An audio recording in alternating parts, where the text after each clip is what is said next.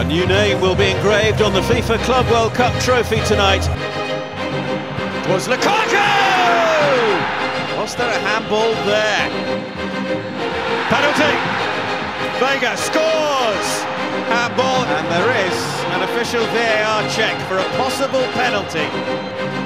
Penalty to Chelsea! In front, Havertz puts it in! Chelsea are the Club World Cup champions!